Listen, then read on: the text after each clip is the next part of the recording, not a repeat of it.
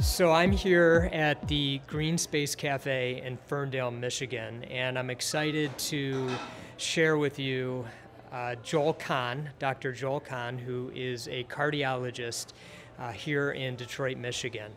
Uh, I got to know Joel uh, because, as some of you know, but many of you may not, I actually have a plant based diet. But don't leave the podcast yet. Uh, Joel is uh, known uh, nationally and internationally as a doctor that helps to re- uh, reverse heart disease. And this is an important subject for all of you high performers out there. Um, and Joel is not just a cardiologist, he's an entrepreneur and an amazing leader, which you will, all, all which you will also find out uh, during our talk together today. So I hope you enjoy my chat with Joel Kahn.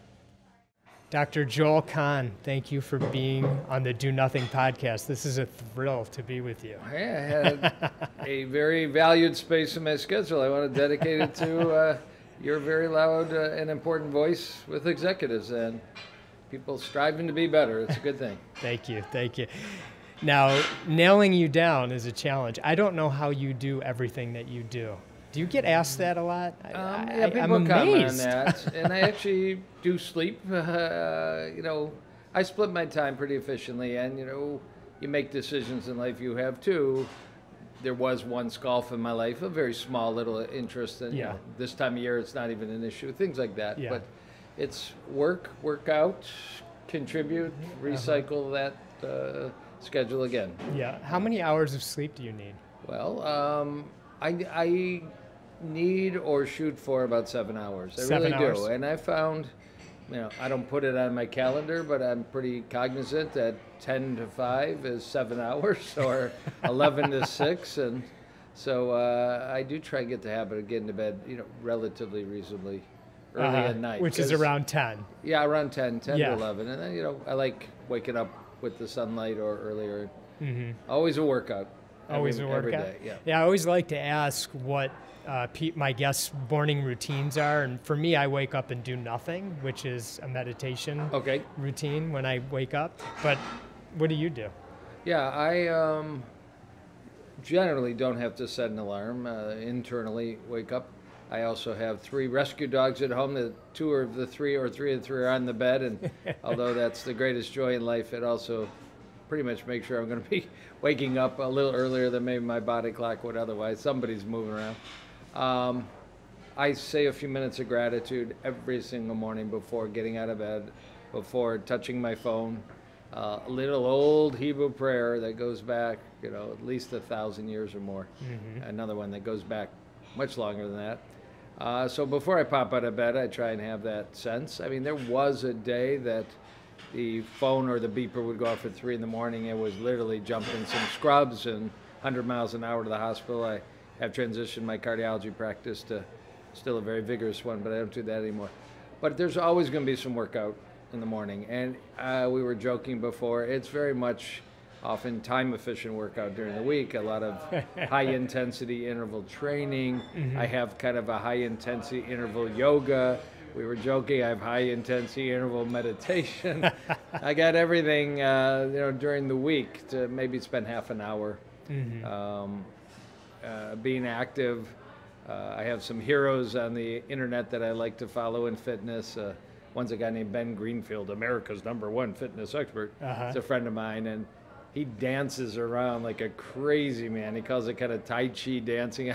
Uh-huh. In the in the confines of my basement, you can do what you want, and I do usually work out No at home. No kidding. So I've uh, added that two minutes into the routine. The other thing I've added, just we could talk about it, is some new uh, medical data that if you can do 40 or more push-ups in two minutes or less, it may be a better sign of fitness than even going for an executive physical executive stress test. So uh, that that's new, and I've kind of added in 45, 50 push-ups I in the love it. morning to the.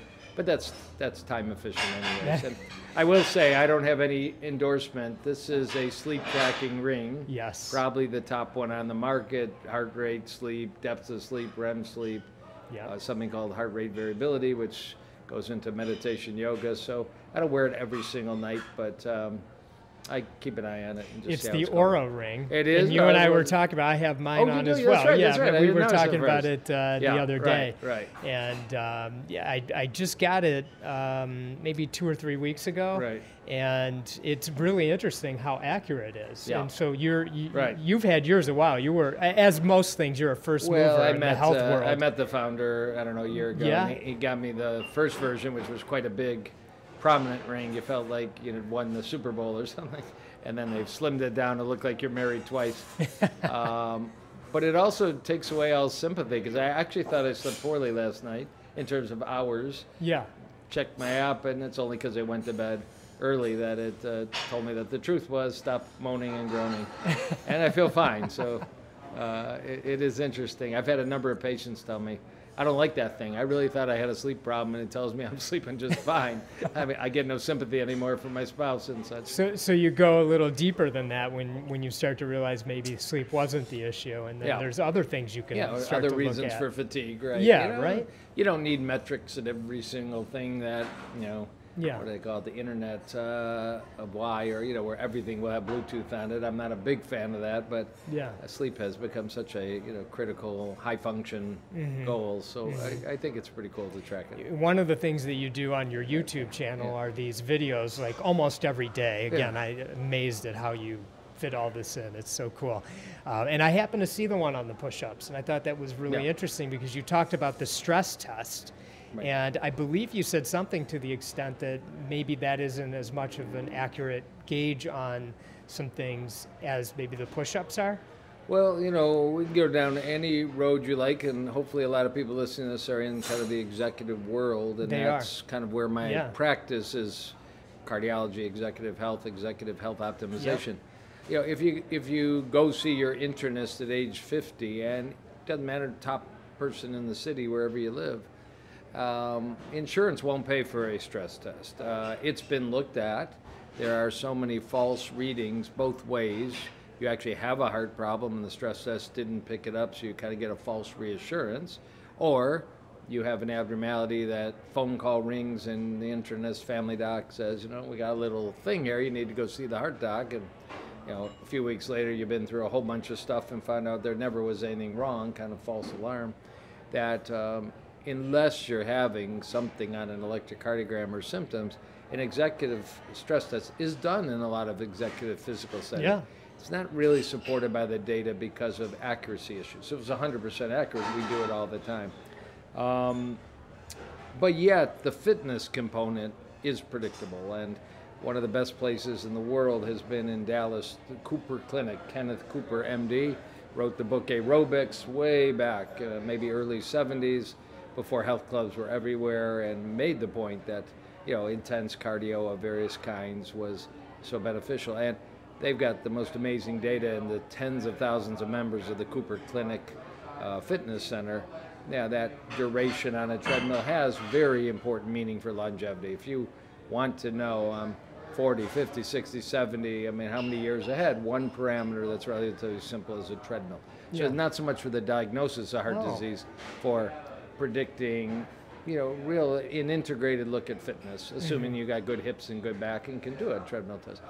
The push-up thing is, you know, when it was compared head-to-head in this Harvard study of a thousand firefighters about age 40 to 55, it was even more predictable. It separated those that developed heart disease a decade later, later from those that didn't, even better than a firefighter stress test. And in the firefighter population, a stress test probably is reasonable. Yeah, they're a high-risk population. They've got the public health at you know their hands. But Yeah. uh, all you gotta do is drop down, give me 40, under two minutes, and you're pretty golden in Under terms two of- minutes? That, that's what the parameter was in this single study Okay. that was recently published. Okay, so it. it's you can take a break. It doesn't have to be relentless. Yeah. I, and really, that was what they did in the study. I mean, somebody wants to put their knees down and do five push-ups and build up. Great. You want to get your kitchen counter or your desk at work and use it. Uh, do push-ups off of as your introduction. All that's great, but Mm-hmm. I can already tell there's a whole lot more people doing a whole lot more push-ups than there were three, four weeks ago. Anything that gets people moving Yeah. in a safe and uh, you know hopefully sustained manner is is a welcome you know piece of uh, headline. Do you ever take a day off from exercise during the week? I mean, do you, Ian, do you recommend that? The first part, do I ever take a day off? Not really. I, I, I haven't gotten to Stephen Covey's sharpen the saw for a while. um, because uh, I like everything I do pretty much all day. Uh, I do take probably six days a week. I work out. And, Okay. Um, if it's either a time crunch or a little bit of muscle soreness from a good weight workout, um, I was introduced about two years ago to an eight-minute yoga flow called the Five Tibetans. I had done yoga for 25 years, uh, like everybody at a you know l- the local hot studio, uh, literally hot many times. Yeah, But you know that's an hour class most of the time, and it's the drive, and it's the park, and it's the shower. you know. absolutely. So when I learned that there was this ancient flow, five Tibetans, and I've written about it, or people can look it up, and it's all core and back flexibility, and hot room, cold room, hotel room, kitchen. I do it on my kitchen floor a lot of times.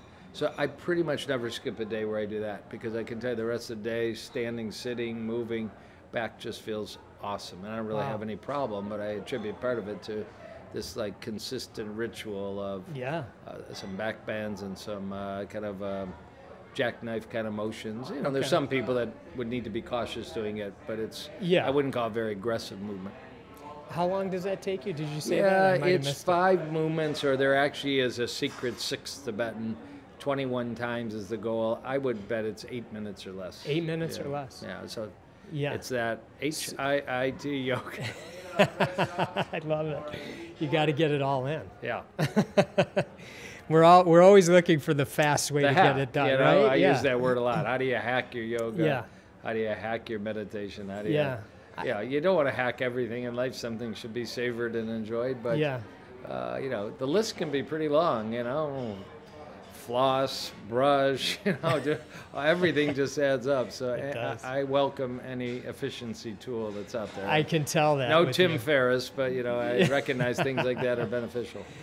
Uh, so you, you mentioned you're a cardiologist and that's your training, but you know how I know you uh, at the outset is when you started to open this beautiful restaurant, and so to me you're an entrepreneur, and um, and, and that goes back in your family, I believe, doesn't it? Yeah, uh, grandfather and father embarked the year I was born, which is just about turning 60 now, um, in a furniture store in Detroit proper. Yeah. At the time that, you know, most of the business was in Detroit proper, and then they grew that ultimately. I think I don't know if there's eight or nine pretty large stores uh, run by my sister and brother-in-law, still within the family. Yeah. But as a kid, I was in warehouses. I was at, you know, July 4th sales. I was driving high lows. I was delivering furniture, and you know, saw how hard people worked, and uh, I wasn't like on the floor selling much. I had figured out by age 16, 17, I was going into medicine, even though the retail part was very appealing, and working with my father was a very enticing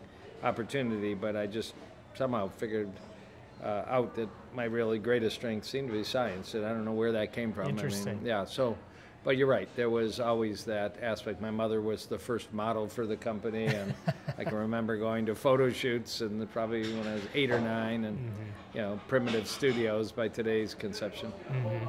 So the entrepreneurial world was around you growing up, even though you knew at an early age you were probably headed towards medicine. Yep. Yeah. Very early. Yep. Yep. Just, you know, fortunately, a very good decision. I, I, I don't know how the furniture world would have turned out. I think I would have enjoyed that, but I've just.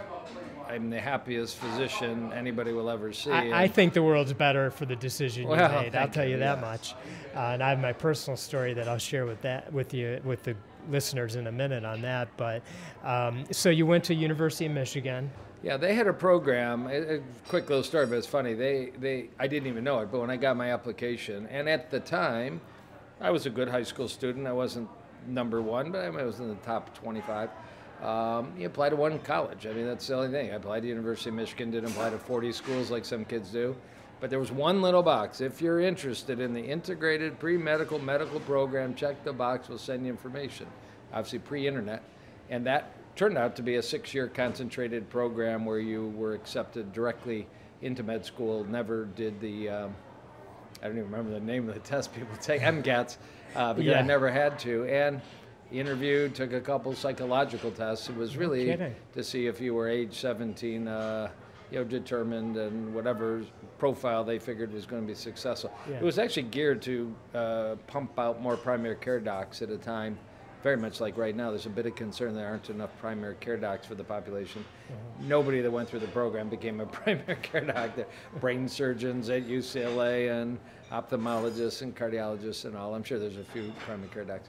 But it was just, you know, I got a letter when I had just turned 18 that I was accepted to med school, and it was just a, another. It was the high intensity. It was I hacked med school. Never thought of it that way, but shaved two years off in a program that was, you know, my class size was 50. Everybody else had 250, 300. The Yeah. last couple of years, we integrated with the main med school uh, on rotations. They called it the baby docs because Okay. we were on average a couple of years younger Yeah. at the same level. But I ended up graduating, you know, summa cum laude, so I kicked their butt. Did you know that you wanted to be a cardiologist early on, or did how did you figure that out? I had a trivial little thing, but I had a little heart murmur as a kid, Mm-hmm. and I started seeing really before I have memory of it at Yeah. six months old, three months old, and throughout uh, my childhood. It never amounted to anything, but I can just remember machines and diode screens and all kinds of stuff, and just I'm sure that was the biggest influence. Yeah. I have a great picture of my pediatric cardiologist. Uh, I must have been about two or three, examining me in the crib with a cigarette in his hand. So reflects the the, the era. times. Yeah, the era. I mean, is yeah. that nuts? Yeah, I think it was about 65 that you know the biggest warning about smoking and cancer came out, and some rules started to come out. But prior to that, Yeah. yeah, it was like everybody's seen those ads. Doctors were We've all endorsing. seen 'em. Yep, they were real. And, and now you talk about today's, which we'll, we'll talk a yeah, bit more right, about. right. i- we just have a different a- cigarette. right. Yeah, right, exactly. Um, what was your household like? What was the con household? Well, like? actually, where we're sitting, I grew up first 10 years of my life about a mile from here and go back once in a while, I man, 1,000 square feet. And Uh-huh. I don't know how many rooms, shared a bedroom with my brother, one bathroom.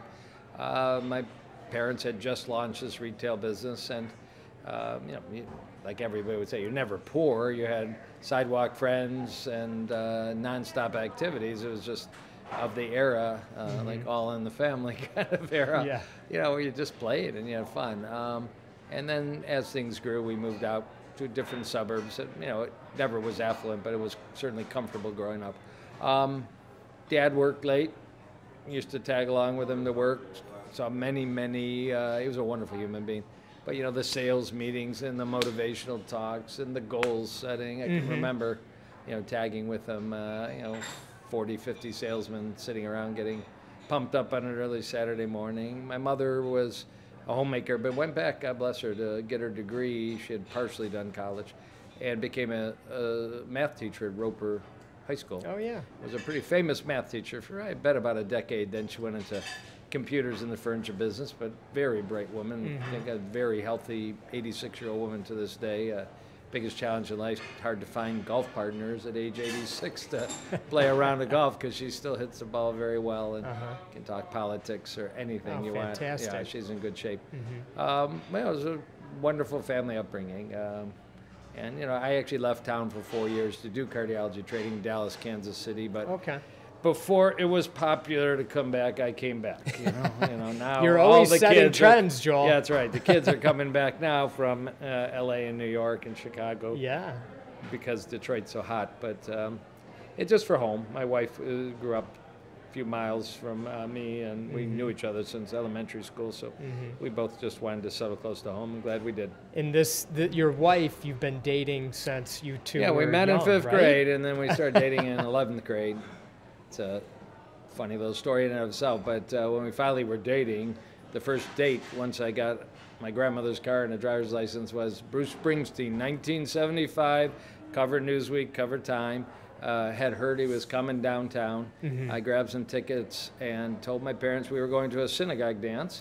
so anyway, not like we were really bad kids, but drove to the synagogue, got out of the car, stepped on the sidewalk, got back in the car. We were at the synagogue, and went and saw. Uh, you know, uh, Born to Run had just come out, about a four and a half hour. At Tiger Stadium? No, or- it was actually something called the Michigan Theater, which doesn't exist. I would say Oh. probably about 2,000 people. Okay. But it just, you know, he was a scrawny little, probably Jeez. 27 26 year yeah, old. That's early on. Yeah, he was. He's 10 years older than me, and I was 16, so he was 26. And yeah, it was just, you know, it was a great thing. So I guess that sealed uh, the fate That of the it, yeah. relationship. And 37 and a half years later, it's still going strong. I don't know your wife very well at all, Yeah. but any interaction I've ever had with Yeah, her has been nothing, nothing more than pleasant. Yeah, we need amazing. to clone her. We need to clone her and get more of her. She's a there, wonderful yeah. woman, and you do have a wonderful Thank you. Um, I, I read that uh, at one point your father had some weight issues or something like that, and your mom sort of Yeah. did some research or and kind of to help him get on track. Yeah, they were ahead of their time, um, and that's exactly right. She was always was a tremendous cook at home. I just had the skills, uh, but it was traditional cooking, not unhealthy, just traditional cooking. Yeah. And they went to the Pritikin Center, uh, which Nathan Pritikin, a aerospace engineer, that in uh, went through his own health challenge in his early 40s in the 1950s, and by the 1960s was teaching people as an engineer about health and fitness and diet and very consistent with what I do nowadays, uh, early pioneer in plant-based medicine Yeah. and fitness. And at the time, I think it was Santa Monica. It's subsequently, there is a beautiful Pritikin Longevity Center in um, Doral Country Club in Miami Yeah. now. But they went, and the food at home remained very good. It just was very different. I mean, uh, probably one of the first families to have lentil loaves, not meatloafs, and lentil No burgers. kidding. And, yeah, it was a slow transition. My What father. year was that? Um, I would bet early, uh, may- maybe even late 60s, early 70s, Wow. probably early 70s. Okay. Yeah, so I started to see that, and uh, uh, you know, it did help my father, who had a little bit of heart disease, weight, blood pressure. You know, uh, I can remember him smoking in the era that pretty much everybody smoked. Yeah. But yeah, he got it. My mom smacked him around a little bit and got him on better food and off cigarettes. And Well, he and he Uh, was smart to listen to her. yeah, he was Yeah? smart, and you know, had a good, good run of good health and Yeah. great golf and great business success for a long Uh, time. is it Irwin? Irwin, yeah, Yeah, yeah. and your mother's Ruth. Ruth, you got a good, yeah, very good memory. Yeah. She's as they say, still going strong. My father had a great business career, Yes, he did. beloved around town, beloved in the national furniture Yes. world. Uh, last five years of his life, he slowed down to play a lot of really bad golf, but a lot of golf. Had Down in Florida. Uh, Florida here. They lived uh, on a country club here, and they uh, in Florida somehow befriended Mark O'Meara, pretty famous pro. Sure. His father was a furniture rep, and a few guys from Detroit. And Mark O'Meara would hang out, I think, in Orlando at the same club Tiger was at, Uh huh. Isleworth, if I remember. Uh-huh. I mean, the stories, always stories. And then ultimately had a quick and unfortunate illness in his late 70s and passed away in Florida. But he had a funeral. I mean, to this day, I talked to my family about it, like he had been, you know, a cardinal in the Catholic Church or something. Mm-hmm. Just thousands of people showed up at his funeral. Hundreds showed up at my mother's house for Oh, a week. amazing. And uh, he obviously touched a whole lot of people, some of whom we knew about, and many Mm-hmm. that came up and said, "Your, you know, your father gave me a word or a kind uh, start in business, or a hundred dollars, or Mm-hmm. you know, just uh, many, many people that he had been, you know, not that it was a surprise, but Mm-hmm. truly uh, just so many, Mhm. you know, and that's what you hope for, I guess. Yeah. Know, as long as you can, but touch as many as you can. We were just talking about Yeah. that. Yeah. Gardner White Furniture is the name of the company.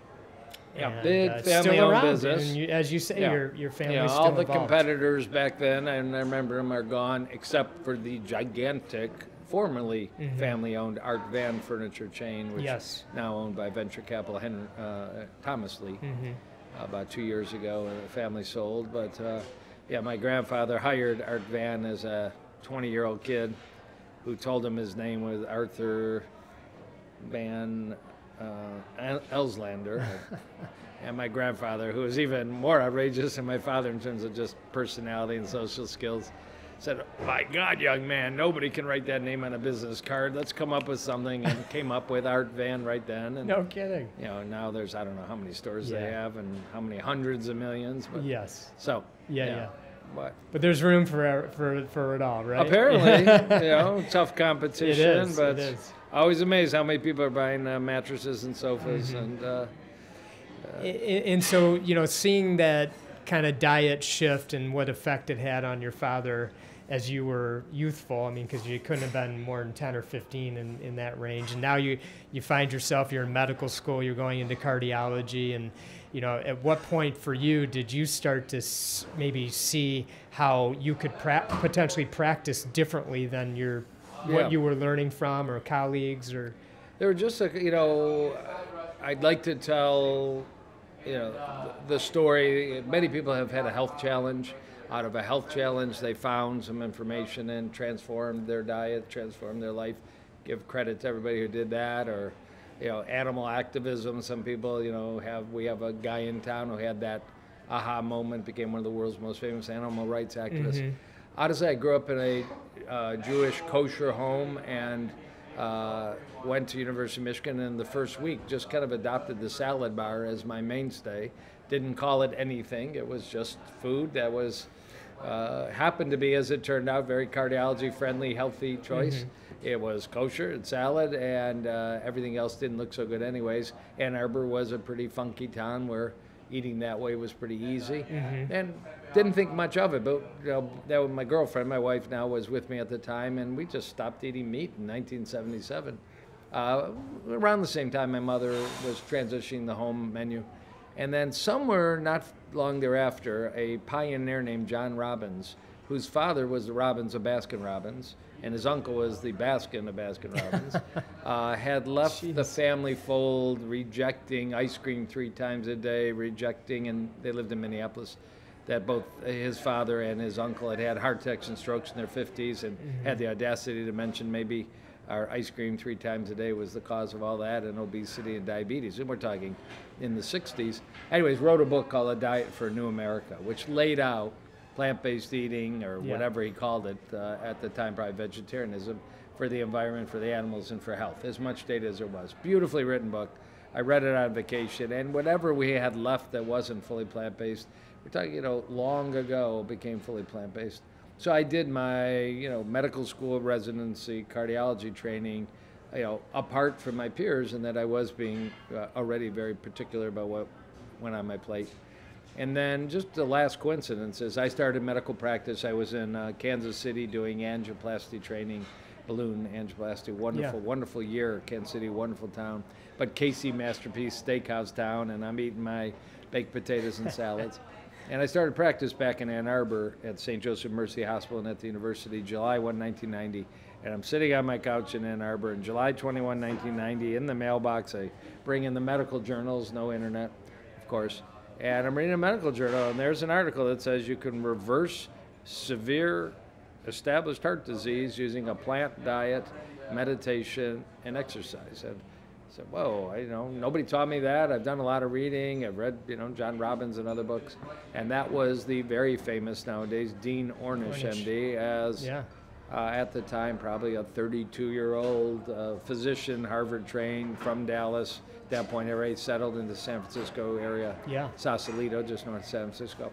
And I mean, I didn't know who he was, and not too many people did, but I knew his co authors, many prominent uh, physicians. And, you know, it was like an epiphany because I said, man, this has been a really weird path from, you know, uh, the salad bar to my mother and father's transition to John Robbins. And lo and behold, I thought I was the hot shot that could take away any blockage with a balloon, and here's some Turk in San Francisco doing it with a fork and a knife. So I pretty much taught people. Oh, Dr. Ornish wrote a book in 1990 that did phenomenally well. Uh, Dr. Ornish's plan to reverse heart disease. So, I mean, from that moment, I had books like that in my office, and you got whatever care you needed, but you also got a little quick lecture on the mm-hmm. role of food as you know a platform for health, which you, you were it is. along with him. You were Yeah. so ahead, but it, it's such a young age to be able to get grounded in that kind Yeah. of practice. That, I just- feel like that was unique. you look back, say, you know, had I not gone to the mailbox or had the mailman not Yeah, delivered it, or, right. you know, because it,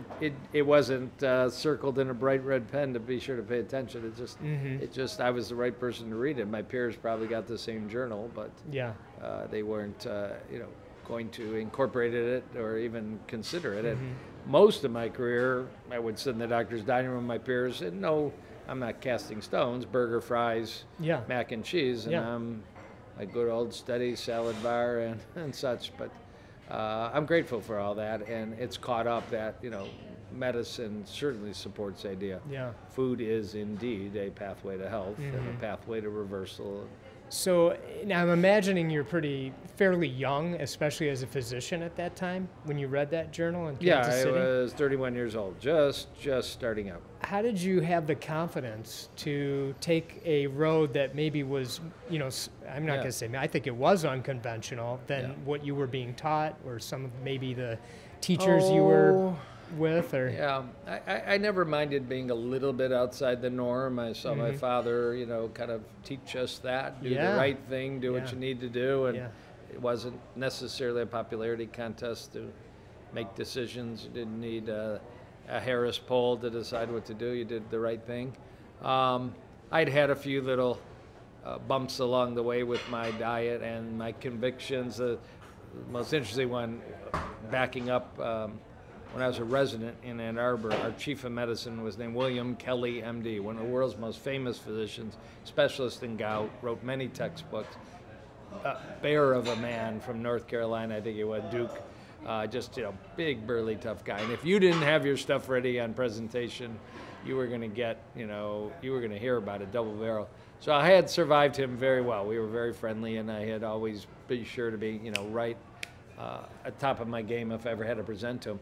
But I won an award as a resident uh, for some research I'd done on heart disease and diabetes, and it was my ability to go to Washington D.C., present the research, and bring my chief of medicine with me. So like, oh my God, you know, I'm 24 years old, and Dr. Kelly's coming with me. And the dinner was at the U.S. Senate building in the Hubert Humphrey dining room. Most elegant dinner I've ever had in my whole life. I can remember, Wow. close my eyes, I'm there because there were just people in tuxedos and sterling silver from Lincoln's time, and you know pictures of presidents on the wall, as elegant as it gets. And I called ahead, and I was used to calling ahead by then, or you know, uh, email, uh, mailed ahead or something. And my diet was a little special. Yeah. And they brought these just sterling silver domes, and his was prime rib, and somebody was a, and they opened mine. It was literally Mrs. Paul's fish and chips. They'd taken the fish out, they'd put extra green peas, and they left it in the aluminum tin.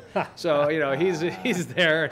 He goes, "Well, Joel, that looks good. I hope they have enough that I can have." So moments like that made you strong. I mean, or have a sense of humor, which I've always had, mm-hmm. to at least chuckle at it all because it was truly a humorous moment. So mm-hmm. by the time you know amongst my peers, it was never contentious. I mean, I wasn't going to tell somebody that they were on their path to hell, but um, you know, food is remains a very personal thing, and um, you know, eh, there is certainly peer pressure in a lot of things in life, but I never really felt it that much. I mean, Were, were you in practice by yourself or were you, did you have Yeah. a group? Uh, until recently, I've always been in a group. So Ann Arbor was, I think I was the seventh cardiologist when I joined, and a few years later moved to suburban Detroit, which for those that are from here is about 45 minutes outside Ann Arbor.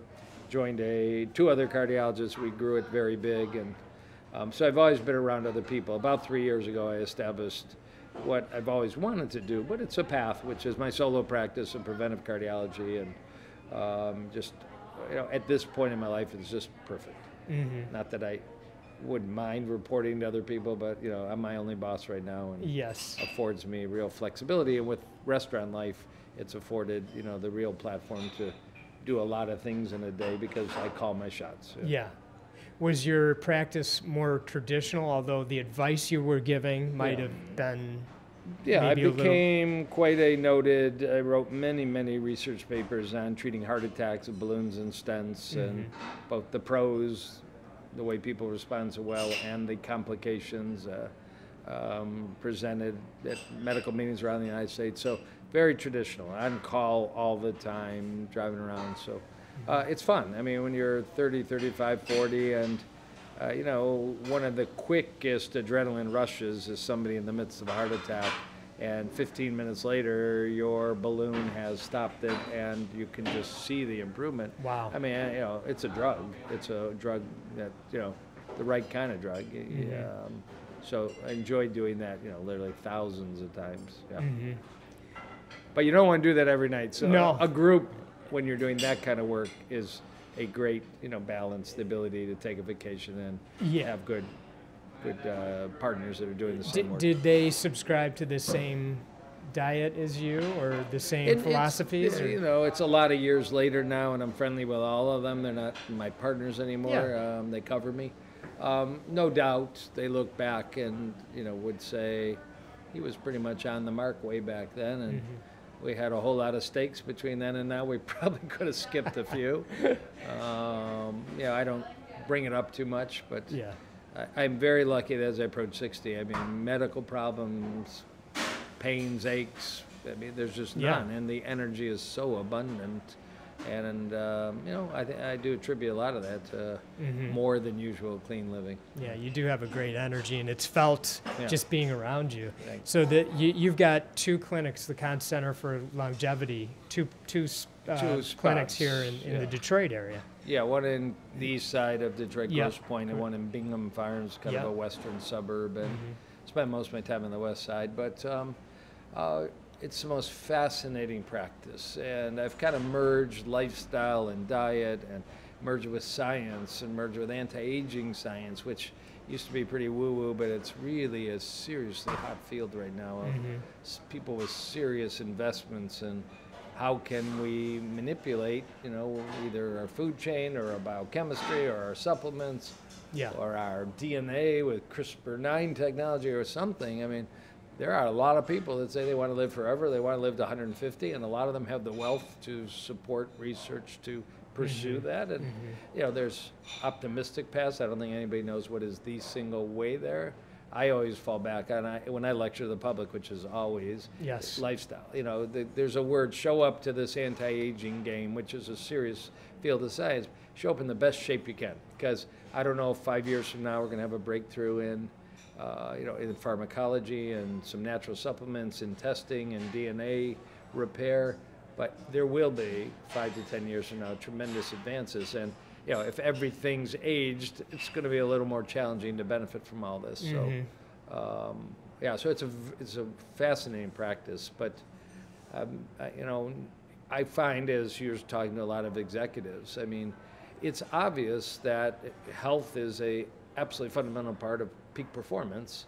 Uh, plus, frankly, the blunt fact, being alive is a pretty critical part of running a company uh, and contributing. And they don't get neither peak performance, peak health, uh, quantified, absolute state of the art, and identifying risk of uh, life threatening illness Mhm. doesn't get the focus it should get in the general public, but certainly also in those leading big organizations, big companies, big responsibilities, municipal responsibilities.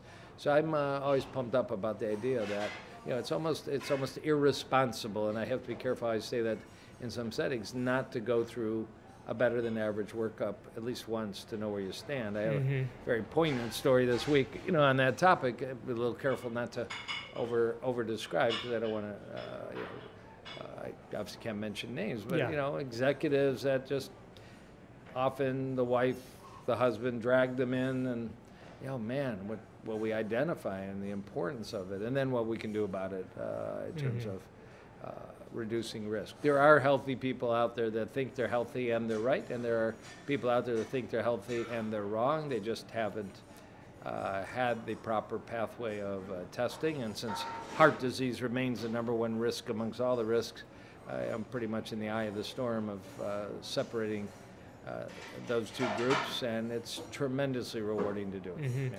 As I went through this journey myself, one of the things that I found was that the, the physicians that I was working with, I don't feel like they really were in tune with it either. And they were just kind of, they knew their system and got me in and got me out. And it really took my own investigation to start figuring things out. So, you know, what are you, what are you talking about to people as far as that goes? Yeah, and you're absolutely right. It's a tough medical system if you're going to, you know, standard medical practices. If you're a person of means, if you're an executive, if you know the physician, you may get a little more time. You may get them to slow down. That's not necessarily fair. We're not supposed to distinguish, uh, you know, treat everybody the same. Yeah. But the reality is, um, you know, I can remember, you know, in a standard practice, given you know, a little bit more attention and time when I knew somebody was, you know, a Mhm. named somebody. It's just human nature. Mm-hmm. Um, if you are seeing somebody that's in more of a direct patient care, is the official term concierge, cash practice or some hybrid, you know, you can get more time Yeah. if you pay for it, and um, that's available. Um, sometimes you get more time and less waiting in standard practice, and sometimes you get more time, less waiting, and what you might call advanced practice or integrated practice. So that's what I do. I do both.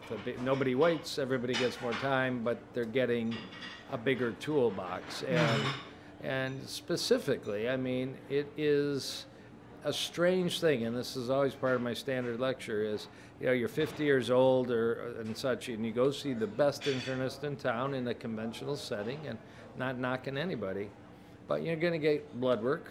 I can tell you it's pretty plain vanilla blood work. You'll know your blood sugar, your general cholesterol, your kidney function. Um, you're going to get a stethoscope, probably for a little bit. That's we don't give up on stethoscopes; they don't teach very much. You're actually not supposed to get an electrocardiogram anymore. The insurance companies will not pay for just the three-minute piece of paper electrocardiogram. They've evaluated it, much like stress tests, and found that a routine electrocardiogram, just because you're of some age or some setting, and I don't mind that. There isn't a lot to be learned, but by God, so we're eliminating that hard check. And beyond that, you know, you're going to hear about colonoscopy or mammography or thermography if you're a woman. You may get a digital rectal or a, or some other evaluation of uh, uh, colorectal cancer risk, but there's nothing being done nor approved for heart disease. And it's uh, a glaring, glaring error, not matched by the need. The need is huge. It's 2,000 people a day are dying of cardiovascular disease in this country, and the most conservative estimate is 1,000 of them could be prevented. That's the Center of Disease Control. Atlanta says uh, 1,000 deaths a day are clearly identifiable and preventable.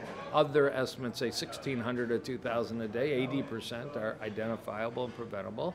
And every one of them's tragic if they could be prevented. And some of them in the corporate world are just absolutely, you know, critical and frankly expensive to a company that is left unexpectedly in a lurch because the nature of heart diseases, it can quite easily be fatal without any warning. And uh, you know, uh, I often tell the story we have in Detroit the Center for Creative Studies downtown and a lot of automotive work, and the provost in 2012 was Imre Molnar, born in Hungary, but a very well-known um, car designer, engineer, uh, and such, and very prominent career. 60 years old, ate vegetarian, did yoga, looked good, younger wife, younger kids, and went on vacation December 2012, bike ride, never came back. Autopsy, 95% blocked artery, had been in his doctor's office a couple weeks before.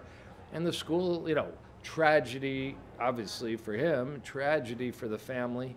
Um, the school took a year till they could replace him. And, you know, from a fiduciary and, uh, and business standpoint, it was a loss in every regard. Yeah. Obviously, the personal loss is more important than the Yeah. corporate loss, but um, you know, James Cantalupo, CEO of McDonald's, introduced the Happy Meal, introduced the Fruit Cup. I mean, he was trying to do some good stuff. Was uh, as you do, doing a corporate leadership meeting in Florida and collapsed in his hotel room and uh, died at age 60. And maybe the most poignant story that doesn't get told much. There's a cardiologist at University of Texas Southwestern Medical Center, uh, which is where I did my training long ago in Dallas. John Warner, MD, chief of cardiology at a major medical center, president of the American Heart Association, who um, was at the annual meeting, and he was a runner. And if I remember, he had gone to the gym in the hotel, came back, wife and daughter were in the hotel suite early in the morning still, and just didn't feel well. And he collapsed on the floor and he had a cardiac arrest. He's about 58, 57, 54. By the grace of God, his wife, daughter, you know, jumped on his chest, CPR. The whole floor was doctors, of course, so they started shouting and and quickly a defibrillator showed up and the patches and the hit the button and miraculously came uh, back to life. That happens maybe 15% of the time, 20%. Those defibrillators uh, have increased that number some. You know, rushed to the local hospital, got a stent. But if you can be the chief of cardiology at a major medical center and the president of the American Heart Association and still, you know, be as close to death as you can be, we're Yeah. not doing something right. Yeah. So, with all that said and done, I mean, I've written books and I've written articles and I lecture, and I don't care if I'm lecturing in a high school. I talk about to the kids, tell your parents this is how you prevent heart attacks. Or, of course, if it's an adult meeting, they invite me to talk about nutrition. I say, wait, give me five minutes. We're talking about how to prevent heart attacks. Yeah. Then we'll go to nutrition. They're sort of the same talk, but I have to talk the technology, the technique, the the science Mm-hmm. of not expensive, but a methodology to uh, wipe out heart attacks as frequently as we can. Yeah. And what's something simple that that somebody could do just by So, Yeah. yeah, so I, I have adopted um, a three word statement that uh, I didn't actually create, but once you say it three or four times, you know, you can just take it over, which is test, not guess. Test, not guess. You know, because you can be at your doctor, be told your cholesterol's great, your blood pressure's good, uh, you know, you're going to the gym, you're eating Yeah. pretty well, and you can be full of heart attack related blockage waiting to happen. Uh, there are things that are just not part of the routine examination that can be present, genetic and otherwise.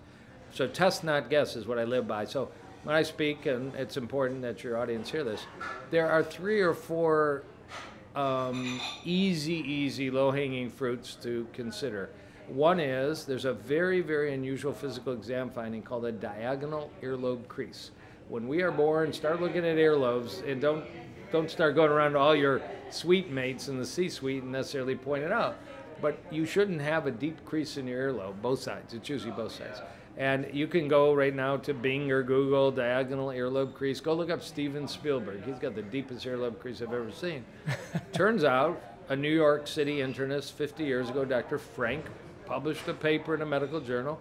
When I see patients in my practice and they have heart artery blockage disease, I've noticed they have a deep crease, and I'm pointing it out. It became known as Frank's sign, except nobody remembered that single paper 50 years ago till the last five to 10 years when we've had the advent of what's called heart CT scans, CAT scans.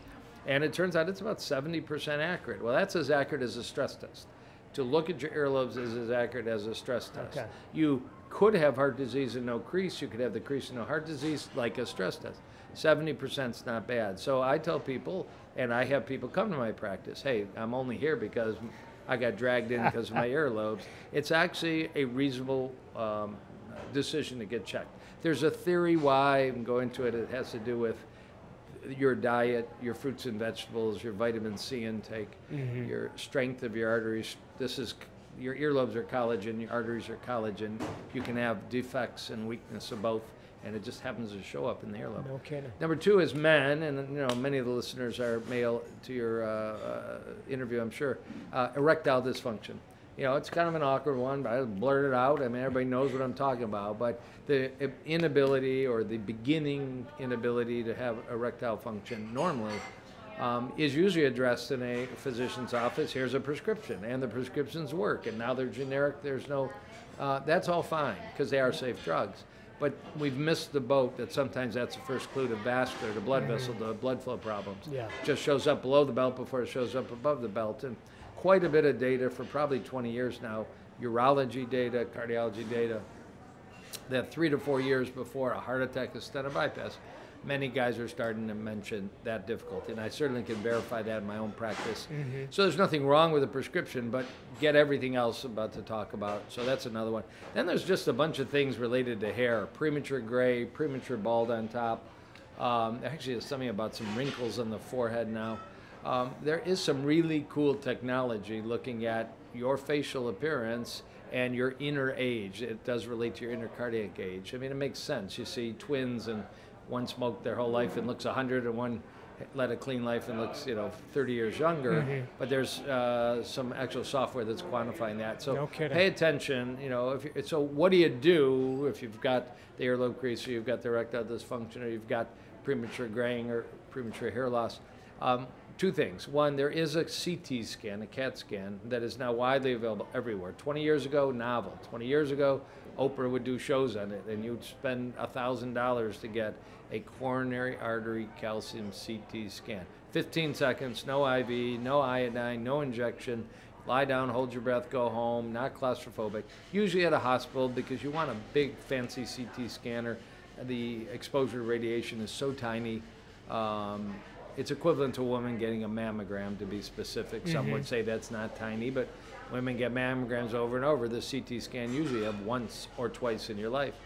And it allows a radiologist or a cardiologist to actually see the heart arteries. You can't see them on a stress test, can't see them with a stethoscope, can't see them with an electrocardiogram. You can see them in 15 seconds. And you, the beautiful thing of this terrible disease that robs people of their life is that arteries that are getting clogged are almost always calcified, bone material. And on a CT scan, you can see calcium from a million miles away.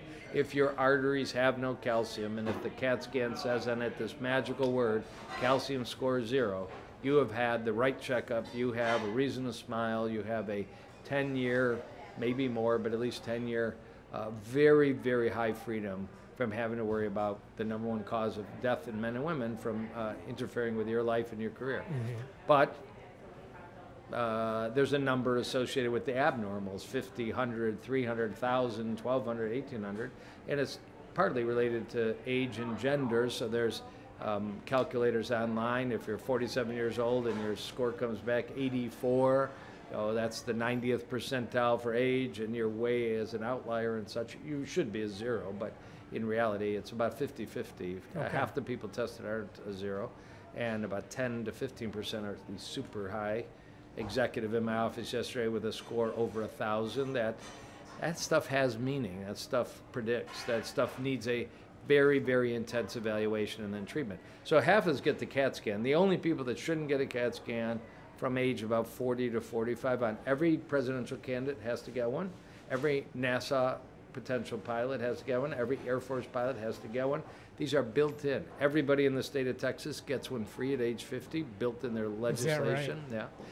Cleveland University Hospital is giving away for free right now, but the prices come down very often to 75 to 125 dollars. So it's very approachable. I uh, actually volunteered this morning in a free clinic, people without health insurance in the inner city. I mentioned to you, uh, run by Mitch Albom, the SAY Oh, yeah. clinic. Great. It's the only heart test I can actually talk to these people about getting. A stress test is a couple thousand dollars. They don't have insurance. 75 bucks they can scramble together and, you know, saw a woman, smoker, diabetic, high cholesterol, blood pressure, the whole thing. I said, you know, $75, you know, get it together. Uh, this is a test you and the chairman of the board of Ford Motor Company can both benefit getting. It's this crazy equality in medicine.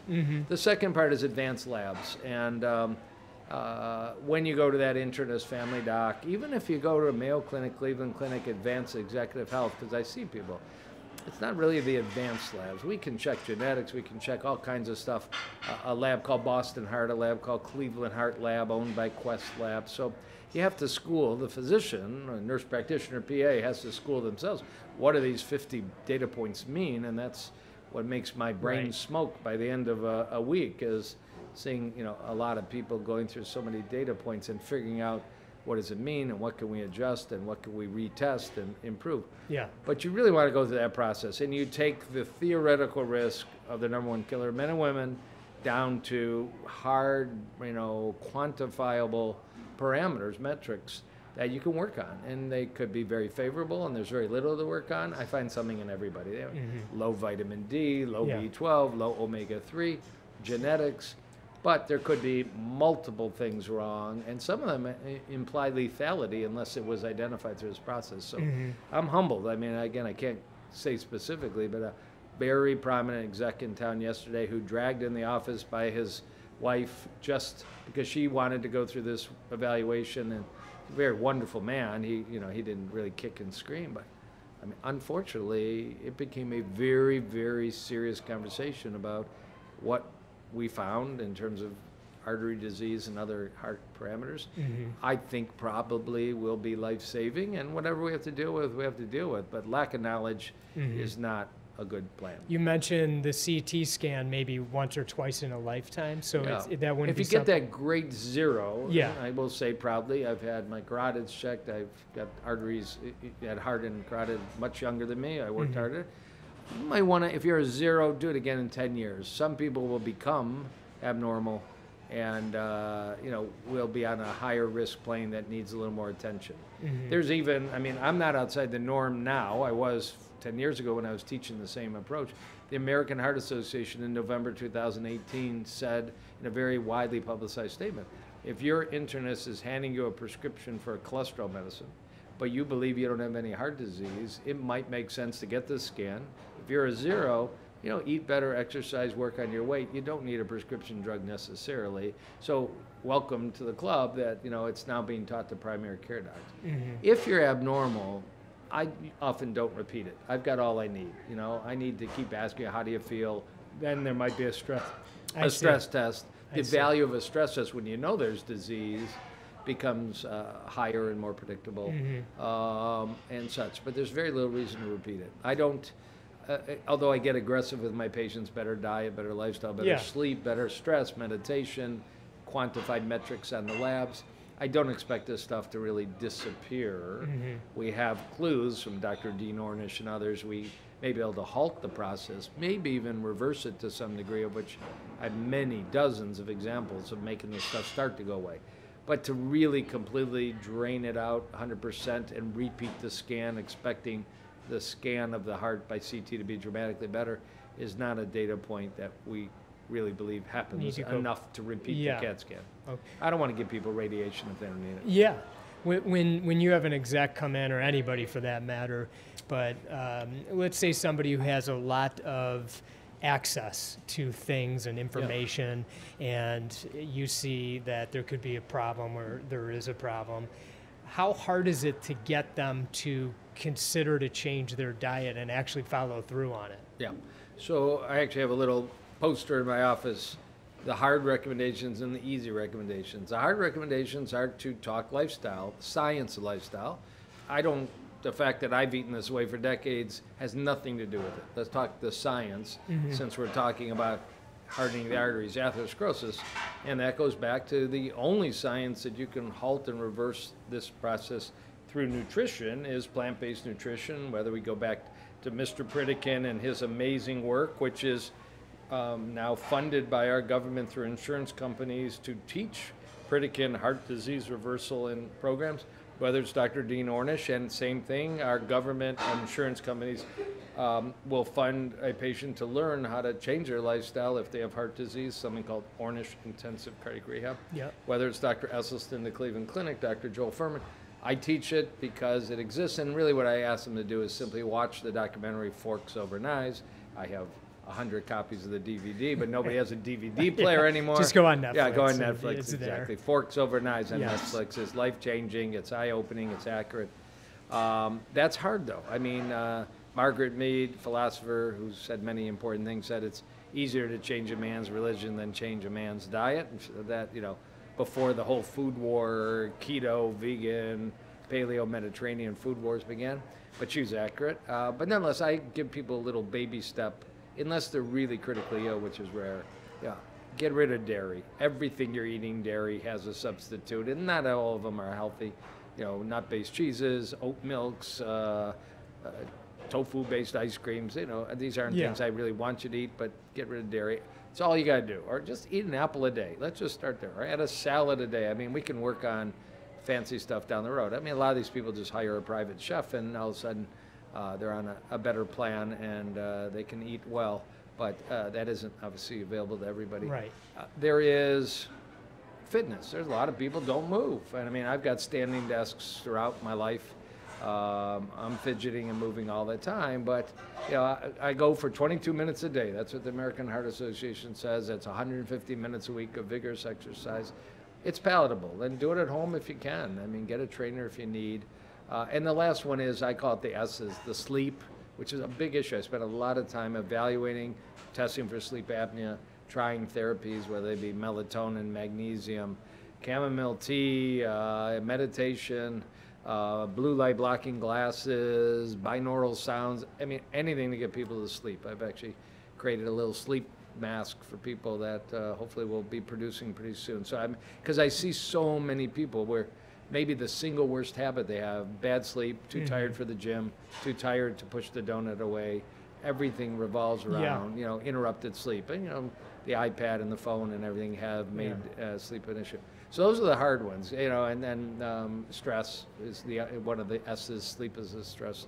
Socialization, you want to be involved, want to have commitment. Uh, the blue zones talk about Yeah. ikagi, having a focus, having a passion. Then there's some easy things. There just there are some prescription and supplemental um, uh, supplements, vitamins that have uh, pretty impressive human data for helping the process of reversing plaque. And Mm-hmm. you know, most of the people are very interested uh, in you know taking anything that has shown promise and safety and all. And much of these are just plant-based supplements that science has uh, identified work. That's easy. I mean, it's easy to take three, four, five pills a day. It's harder to change your diet and all, but it's that whole combination. And retest and retest and retest and retest. How your arteries looking, carotid, you can do that. What does your blood work show? Have you brought your omega 3 level up? Have you brought your inflammation down? Have you brought your advanced cholesterol panel down? And, you know, whatever we need to do to get you there, we'll get you there. They, uh, at my office, there are people that love the keto diet. Yeah. W- what do you think of this diet? Yeah, it's one of my, it's become, I've pushed myself into kind of the central conversation. Um, was on the doctor show, the Yeah. TV show last week, talking about keto. Most people. So for those that don't know, real quickly, ketogenic ketone bodies are a fuel the body will make under stress. If you starve yourself, you aren't taking in glucose. Ultimately, your liver, your muscles will burn through what's called the glycogen stores. Your body will start to make ketone bodies. They're something that will show up to fuel the body as you're losing weight because you're starving, um, as a backup plan. Never out of health, out of distress. And it was discovered in decades ago. Children with seizure disorders that aren't responding, they tried to starve them. They actually showed it helped, but you're not going to get much compliance starving children. so a diet was developed, ultra low carbohydrate. So even fruit becomes suspect. But usually berries and greens are permitted, but God knows don't put a piece of pasta or a sweet potato or brown rice in front of a child like that. Jack up the fat content. We're talking butters and butters and meats. That's called the ketogenic diet. It brings on ketone bodies about a third of kids actually respond. And if I, God forbid, had a child with refractory seizures, I'd whip out the old ketogenic diet. But the medical literature says that diet has a number of side effects, very concerning. Somehow in the last 10 years, it's become the darling of Silicon Valley, Hollywood, some athletes, Halle Berry, uh, LeBron James, Hugh Jackman, Kim Kardashian, and it's gotten in the public mind. It's the single hottest food trend right now for manufacturers. Keto apple cider vinegar, I've seen, I mean, keto soups, um, keto books, K E T O. Um, so, what's the downside to that? It's really repackaged uh, Robert Atkins, Dr. Atkins diet. With a, you know, for some reason, it's just a little sexier to say keto than Atkins. Um, and, you know, Atkins had his phase. It's out of phase because it never was a long term healthy play. Uh, remember one of the President Bushes always having pork rinds on the desk because that was kind of the Atkins approach. There is concerning medical science that the ketogenic diet, short term you lose weight, but a lot of ways to lose weight. Fast, water fast, get sick, take chemotherapy, all kinds of ways to lose weight. Long term, it may increase your risk of dying prematurely. That's a scientific fact that's in the literature, but it's not sexy to talk about. So on the doctor's show, I'm the guy saying, I'm the heavy saying, it's great you're thin and it's great that your blood sugars come down. I honor that's a good goal. But if you're going to lose years of your life potentially, number one, at least know it. Nobody, none of the books and the sexy presentations on this have made it uh, really a fair and balanced presentation that this uh, risk exists if you do this long term. There may be something about going on and going off, going on and going off, and there is a plant-based version that has all the science we want. That it may actually promote healthy aging. It's called the fasting mimicking diet. Five days, sort of keto with plants. Yeah. 25 days eat your healthy diet, five days keto with plants. It's a, a genius of a professor at University of Southern California named Dr. Longo, a book called The Longevity Diet. Yeah. More science than any animal butter-based ketogenic diet program has, probably promotes health. First treatment in the United States to be patented for promoting healthy longevity about four months ago. So, you know, you talk on the one hand, the best science says do it for a little bit and do it with plants, and you got the public mindset, do it forever and do it with meat and butter. You know, you tell people that their bad habits or their habits, I won't be judgmental, are healthy, and or, uh, you know, and uh, it's a great way to sell books and develop websites. And, and does it have anything to do with just the, you know, the difficulty of giving up meat? You know, it's Margaret Mead again. Culturally, you know, we Yeah. eat. You know, many of us eat just absolutely meat and potatoes. I mean, that's that expression still exists for so many of the patients I talk to. Meat and potato eaters. Well, Yeah. It's it's hard to start eating broccoli and cauliflower if you've done it one way for 60 years. Yeah. And you know, there's also there is a macho cultural meat, chicken, weightlifting, gym rat, uh, manhood kind of thing. And the irony is, so many of these meats are so hormonally and antibiotic, you know, kind of destroyed that it may actually be a, a uh, impediment in your sexuality and your manhood and your masculinity. But yeah, so that's why there's such resistance. But God knows we're seeing, you know, the food industry gets it. Uh, you know, although the keto may be hot, the plant-based food industry has just exploded. And you know, the the dark side, the less than healthy options. But Carl's Jr. has, you know, uh, plant-based burgers now. Carl's Jr. used to be the single unhealthiest place probably a human could walk in to eat. They got an option now, and Taco Bell has, and White Castle has, and we're waiting for McDonald's to bring out their their vegan plant-based burger. It's in Europe, but you know that's when the public. Three NBA players just invested this week in Beyond Meat, a plant-based burger. Mm-hmm. Kyrie Irving's their main spokesman. I mean, the the public is shifting, not always to the healthier versions of non-meats, Yeah. but they're shifting to non-meats, and I think it's a phase. It'll get healthier and healthier. Do you think that those types of alternative products that are mimicking meat are still healthy and are they still doing what you ultimately want them to do for Yeah. your longevity? Yeah, I don't think so. Um, but I think I welcome it all because I think it's a it's a path and it's a transition. Just like I'm very confident, you know, if we repeat this conversation in five years and ten years and talk about what's going on in the anti-aging field, longevity field, which is still based mainly on the healthiest lifestyle, optimal weight, the cardiac workup I described. If we talk about the food industry five years and 10 years, it's going to be shifting to plant substitutes and many laboratory made alternatives, um, whether it be leather, whether it be egg whites, whether it be meat, whether it be there's pea protein fish, there's pea protein tuna just got launched. Um, the food industry pace of change is rocketing, and that will promote a range of what I might judge healthier and less healthy options, but they'll all be out there. It's going to take some really innovative people. You know, nobody can match what's going on now with Beyond Meat and Impossible Burger. You know, becoming soon both billion-dollar companies. Oh, yeah. The Well, you know, is if they will just crank the oil content down a little and Yeah. come out with, you know, uh, the Dr. Kahn Beyond Meat Burger, Ethan Brown, I'm ready when you are, Ethan Brown.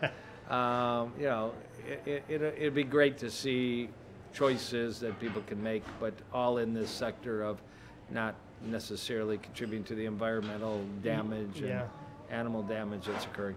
You, you mentioned the, the non-oil version. So what, what's your take on oils? Because Yeah. that can be really confusing even for those that decide to have a plant-based Yeah. diet. And for most people, when you speak to a public uh, crowd, first question a plant-based physician gets asked is, you know, where do you get your protein? And quickly, two answers: it's all the protein you need in green leafies and beans and peas and lentils and nuts. And the lowly white potato is 11% protein, which is really all you need by percentage. There's a, a famous Australian that lost 150 pounds eating nothing but potatoes for the year. Spudfit is his uh, handle on Twitter, and he That's did it under medical supervision. I'm not suggesting uh, Penn Jillette of Penn and Teller. It's called the potato diet. He hates when people call it that, but he lost and has maintained more than 100 pound weight loss. Anyways, there's plenty of protein. In fact, Dr. Longo, University of Southern California, will tell you until you're about 70, low protein diets promote longevity. And when you get 70 and older, ramp it up a little bit to maintain muscle mass. So we've kind of got it wrong. This uh, real uh, craze for high protein, which prompts the question, where do you plant eaters get your protein? Is really the answer, hey, we're healthier because we naturally eat a diet that gives us just enough protein but not too much. We don't need to eat chicken breasts all day long for protein. Um, but then the next question, and many of your audience won't be familiar, if you go through, I'm kind of the plant based historian, I write these articles just my crazy brain that sometimes. How did we get to the idea that we can reverse hardening the arteries with nutrition of plant origin, which is true? Every diet tested has been without added oil, and we can go back to the 1940s forward. Internist in Los Angeles and Mr. Pritikin and all. Um, it was actually based in World War II. There was an observation in Norway that the natural diet of Norway for two years shifted very much to a plant diet without oil based on uh, the economic constraint that animals went back to the German Empire and that led one internist to run an experiment. What if I feed people in Los Angeles a plant diet without oil? Everybody's followed the mainstream.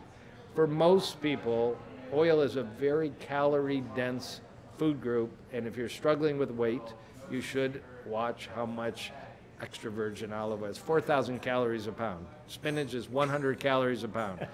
Think how many pounds of spinach, 40 times. Yeah. 40, you can eat to equal, you know, one uh, pound of olive Let me ask you this. Let's just say you're at a restaurant Yeah. and they have oil and the bread comes Right. and you put it on the thing, you put your you put it on the plate and you Yeah. dip your bread. About how much caloric intake do Yeah. you think A- on a general like- tablespoon is 120 calories. I could easily see people doing four or 500 calories, not the bread. just the you know, the bread might have putting- 100. Now it's a 600 calorie. It's like putting butter in your coffee. Yeah. Zero calories becomes 600, so 100 calories becomes 600. and that's the snack before the appetizer. That's a snack. Yeah. you know, that's your whole meal ideally. Really, really fresh Spanish, Greek, Italian olive oil, Mm-hmm. extra virgin, uh, limited intermittent. I will have really good olive oil. I will usually go to the owner of the restaurant, show me what you got back there Uh-huh. that you just brought from the old country, and it's rare. Um, for the overweight, diabetic, heart patient looking for optimal health, uh, avoiding oils of all type, and certainly not the non-organic standard vegetable oil that gets rancid and oxidizes and is used routinely in restaurants. We have oil-free options to honor those people that come here and want it. Yes. But I can tell you, in the restaurant world, it's hard to do it, and most restaurateurs have never even heard that there's a possible concern about safflower and sunflower and corn, particularly. Every corn oil is or is Monsanto Roundup, you know, involved mm-hmm. unless it says organic on it, which mm-hmm. isn't going to be a very common restaurant purchase. So just everybody be aware the calorie density, and I would certainly urge people buy organic oils for their kitchen to cook with. If they're cooking with oils, we've learned in my house in the restaurant. I- We use vegetable stock, use wine, use water, use pressure cookers, instant pots. There's uh, many, many ways to make great food that Yeah. doesn't require, the way you say it, a little bit of olive oil on a piece of bread that you know, it's it's bitter, it's tingy. You can just taste its mm-hmm. kind of healing qualities. That's a treat. That's about as much as you need to. What about oils like coconut oil Yeah. or avocado oil? Ooh, you're getting controversial here, yeah. so it turns out there was a book in the 90s, maybe maybe the 2000s, called The Coconut Oil Miracle by Bruce Fife. And I always point this out. It's sold on Amazon. It's still on Amazon. Bruce F-I-F-E. He's a naturopath, I think, an ND. Mm-hmm. So the book he wrote before the Coconut Oil Miracle, which said you can cure everything with coconut oil, basically, including brain disease. The book before that he wrote was How to Twist Balloons into Dog Shapes. and maybe he's just a very talented guy, or maybe we shouldn't take our coconut oil advice from a guy that knows how to twist balloons into dog shapes. I mean, he's not a prominent Harvard professor of epidemiology or science. Um, it- it- just like keto, coconut oil has gotten into the public uh, mindset that it either cures brain disease, prevents brain disease. Indeed, it's not a whole food. A coconut's a whole food, and on occasion, on vacation, you want to have a coconut and drink the water and scoop out all that fiber and some of its fat content. Enjoy that once in a while. It's not a very common choice, but Yeah. enjoy it. But you know, coconut oil is nothing but fat, 100% fat. It'll be 4,000 calories a pound, but different than all other fats except palm oil. It's 85% saturated fat, the, the way the double bonds are. Mm. And we still believe, the majority of the cardiology world, that high saturated fat intake in foods like butters, like lards, like coconut oil, like meats, do, do contribute to hardening of arteries um, and may contribute to cancer and may contribute to brain disease and may contribute to aging in general. You eat a diet high in saturated fat, that's coconut oil in part, and it's meats and cheese. You get very quick changes in your gut bacteria that let products leak into your blood and you got disease. So um, the American Heart Association, the American College of Cardiology, and even some keto proponents, uh, low carb proponent Gary Taubes. Many people will know the name. He's written many New York Times articles and many books that you would associate normally with promoting coconut oil. Has recently added his name to the list until there's really data The prudent idea would be to limit or eliminate coconut oil. Now, in the food world, it's pretty hard to eliminate, but you have a choice whether you put two scoops in your coffee Yeah. or not, or whether you use it at home. So, um, I don't think there's moderation in everything. That would be a food I would limit or eliminate. What about this trend like bulletproof coffee, where you put butter Yeah. in your coffee? Yeah, so I mean, um, I called Dave Asprey a friend. I've got his cell phone in my phone. I mean, we've spent a lot of time together. I've been on his podcast. Uh, uh, probably the only vegan uh, advocate on his podcast, maybe. I've also probably the only vegan advocate physician on the Joe Rogan podcast. And actually, Yes, I'll tell you, which is I'm great. going in April to Paleo FX, first vegan physician to speak at Oh, the great. hotbed of 8,000 keto paleo. I was invited to give a keynote about why I do what I do, and then I'm going to duck because they're going to throw meat bombs at me. Um, I think it is a bad habit to do bulletproof coffee. Uh, I was there right when it launched. I was at a medical meeting, marketing meeting with Dave. The idea was, you know, you could load yourself up with coffee, his coffee, coffee tested for mold, mycotoxins, ochratoxin to be very specific, his super coffee, and it probably is very good coffee. But by adding in a couple tablespoons of butter and MCT oil, purified coconut oil, 12 chain carbon fatty acids, um, you're going to fill yourself up and you're not going to want to eat till dinner time. That was the concept. Next meeting I went to, everybody's got bulletproof coffee while they're eating eggs, while they're eating, you know, cheeses for breakfast, while they're eating a big lunch. It's what you said. It's all of a sudden it transitioned very quickly to just a hot drink that gave you 600 extra calories or 500 extra calories, a gigantic load of fat. And Dave Asprey knows, as I know, because we've talked about it, these high saturated fat bombs will change your gut to allow leakage of contents and create inflammation. Why you want to do that every morning, we all know there's no reason you should do that every morning. I mean, the problem is nobody's had the moxie or the money to take 10 people and study what happens when you do bulletproof coffee to your artery function, to your gastrointestinal uh, and microbiome function. It won't be a pretty study if it's ever done, but uh, it's allowed a proliferation of, in my opinion, I'm being a little brash, but it's the emperor wears no clothes. I mean, some of his other products I actually do like. He's a bright guy. Yeah, he's got the, the glasses. The glasses. He's an investor in True Dark, uh, Yeah. you know, blue light blocking glasses. I like and, those. You know, 40 years of Zen meditation. I mean, there's a lot of neat things, Mm-hmm. Yeah. and uh, I listen to his podcast uh, and such. But, um, but you know, now we have the ability. The coolest thing right now in aging, I'm bringing this in my clinic, is uh, you can go. The hottest center in the United States for advanced aging evaluation has been in San Diego. It's called Human Longevity Yes. Inc. by Craig Venter, and they have a clinic called the Health Nucleus Clinic. And you know, three four years ago, it was hundred thousand dollars to go and get Yeah. your genome, and then it was twenty five thousand. So I went two years ago. You When I did. dropped to four grand. So I've had my genome done. Yeah. I've had my total body MRI without contrast. Um, a couple other tests were done because the price came down, and I have a report that's 80 pages about every gene in my body.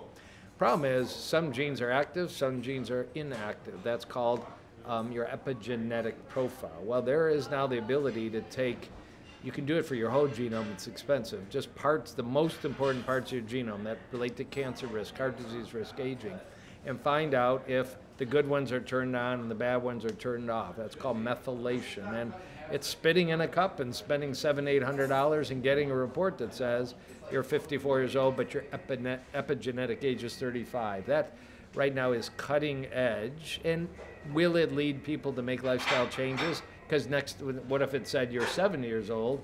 Next time you come back and you've dropped your epigenetic age, because it will mm-hmm. change with lifestyle, with supplementation, with sleep, with meditation, with stress. So Yeah. there's a, if anybody wants to read, there's a UCLA professor, Steve Horvath, PhD, Harvard professor, a woman named Morgan Levine, and they talk about the biological clock or the epigenetic clock. They have a company that's out there, but um, eh, I'm bringing an English company in to uh, start offering to my patients if they want to know. I mean, I do actually haven't done that yet. I want to know. Mhm. Did, did you find the uh, clinic in San Diego was worth the effort? Um, it's an amazing place with amazing people. At the time, the chief medical officer was a friend of mine, Brad Perkins. He's moved on. I didn't meet Mr. Venter. I've read his biography, amazing biography.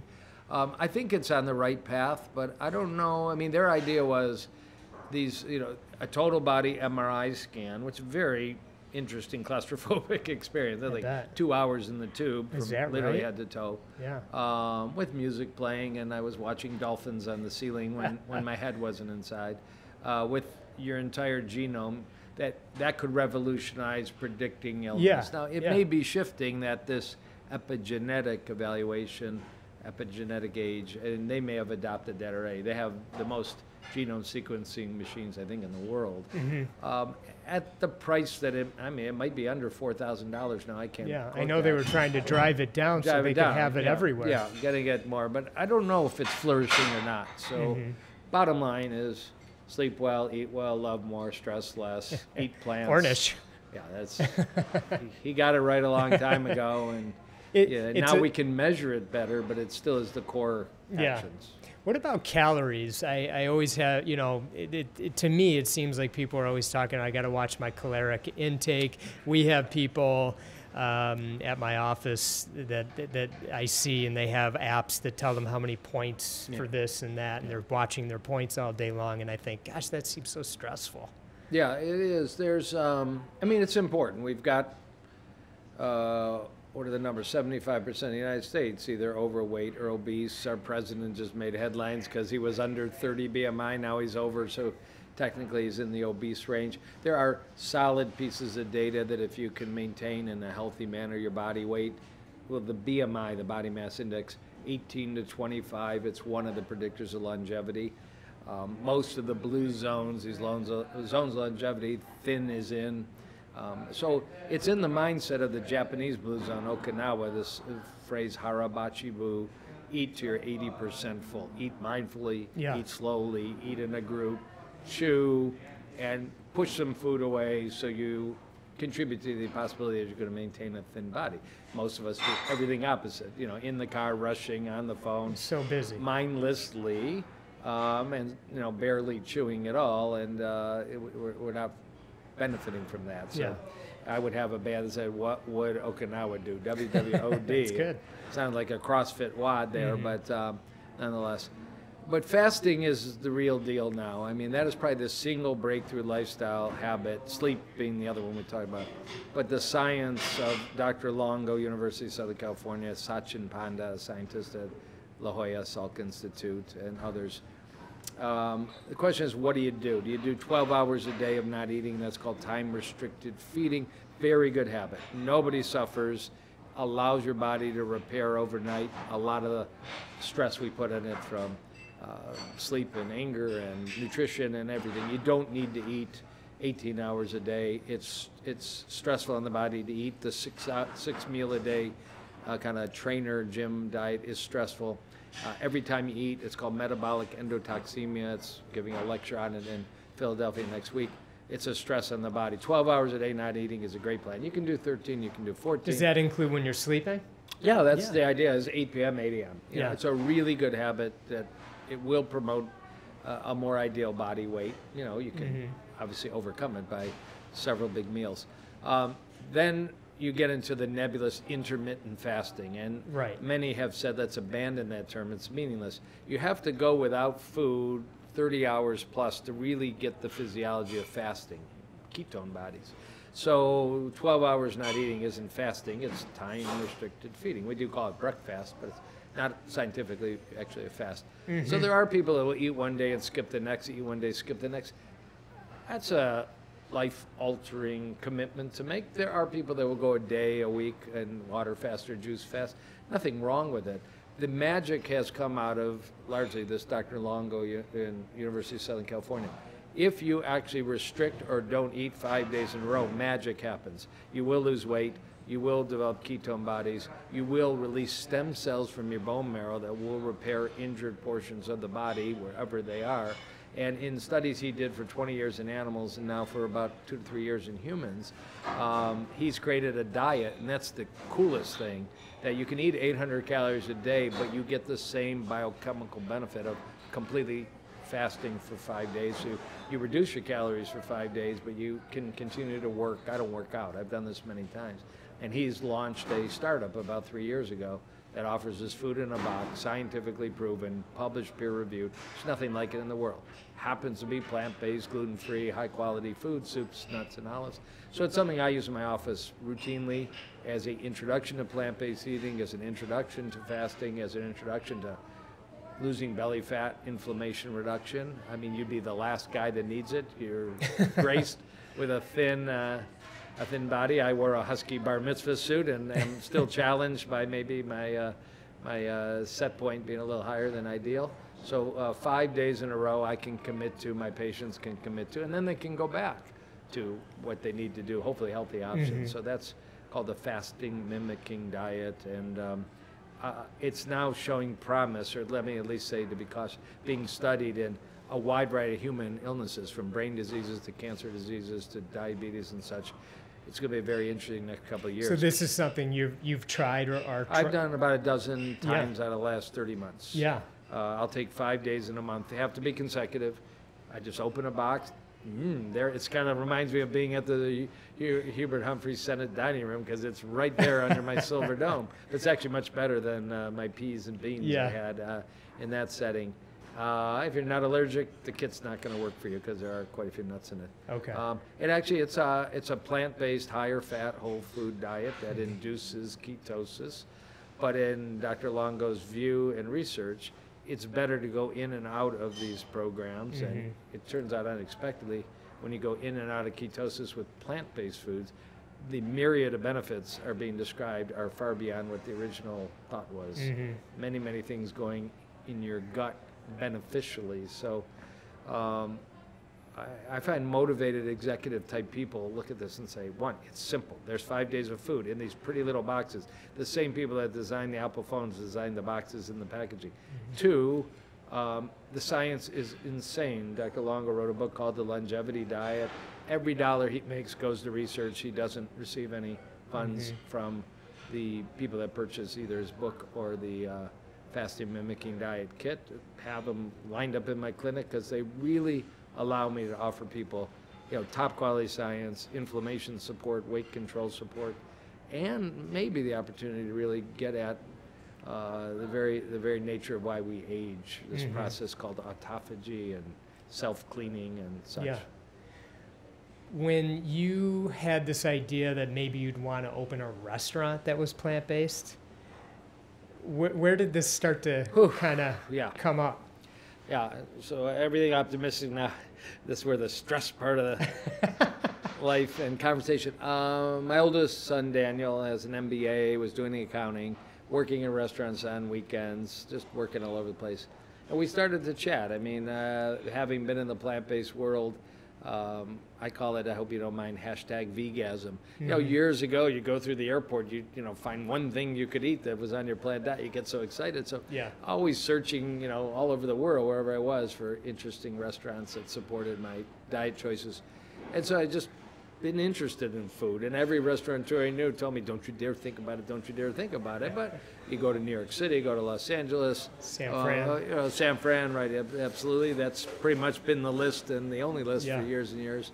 And we started looking at little options like a little juice bar and this and that. It just, it built up. It, this restaurant we're sitting in right now was a small Italian restaurant with a liquor license that was on the market. And it just seemed like the right choice about four years ago. And we did scoop it up and got a team around us of experienced people in the restaurant business and particularly plant-based restaurant.